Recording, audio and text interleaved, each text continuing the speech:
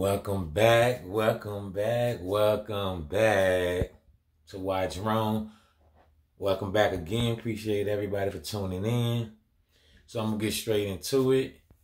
Alright, so I was looking at ESPN's YouTube and I saw today they were talking about Will Urban Meyer, former college coach, be the latest NFL head coach to fail in the NFL? Hmm. That would be a simple yes. When you have Tom Brady still in the NFL. Like, even if not Tom Brady, Patrick Mahomes, Lamar Jackson, any other of these good quarterbacks, good defenses, and all of that in the NFL right now. The Jaguars, it's like they barely can win a game even in preseason, even week one, they took a L, if I'm correct. Then, so it looks like, and I understand Trevor Lawrence is is a new quarterback in the NFL, but uh, I feel like they're gonna still have a losing record in the NFL this year. It looks like, yeah, it's not gonna be that good.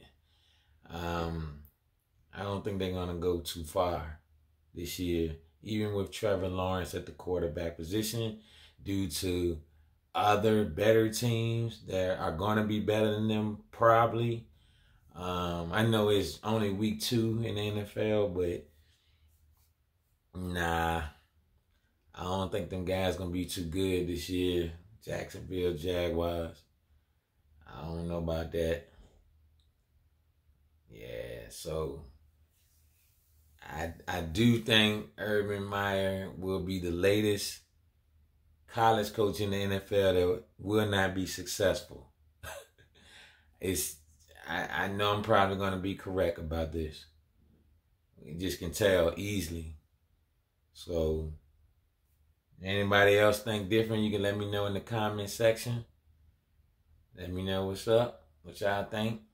Also like, comment, share and most of all, everybody, subscribe. Help a brother out. Please help a brother out. Know what I'm saying? and y'all stay tuned. And I can I'm gonna continue to give y'all entertainment. Alright? Catch y'all on the next video. Alright? I'll be back real soon for y'all. Alright? Gone.